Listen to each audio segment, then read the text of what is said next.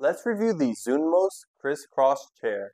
And on first impression, I gotta say this is a super unique office chair. It actually went viral on a few social medias, and that's because you can literally sit crisscross applesauce whenever you work, which is an awesome feature.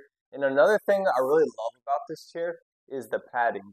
It is very thick and comfortable, and it just keeps you super relaxed whenever you're working. Another great feature about this chair is obviously that it can swivel in all directions.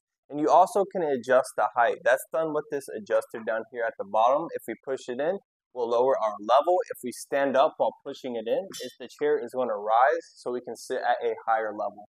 But all in all, I gotta say my favorite feature is how wide the chair actually is. It just allows you to sit in a lot of different positions while we, whenever you're working at your desk. And as we take a closer look at this chair, as I was saying earlier, this chair is super comfortable. As you can see, there is multiple inches of cushion and it is also super soft. And the same goes for the back of the chair as well. And as we take a closer look underneath, obviously here is our adjuster. But if we take a look here at the base, this is built with very heavy duty metal material, which is a great benefit. And as we can see under each leg, there is rubber stoppers, so it's not going to scratch your floor whenever it's moving.